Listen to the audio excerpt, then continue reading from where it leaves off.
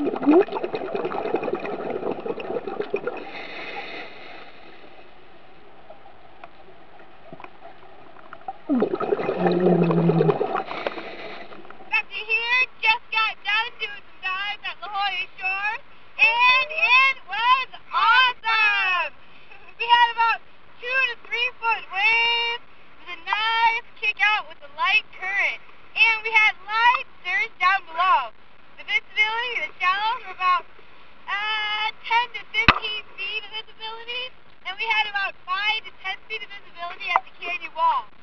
Oh, and we had tons of marine life. What did we see today, Karma? Heck yeah, we saw a ton of sea lions jockeying in position for some squid, uh, a few squid running. We saw squid threesome.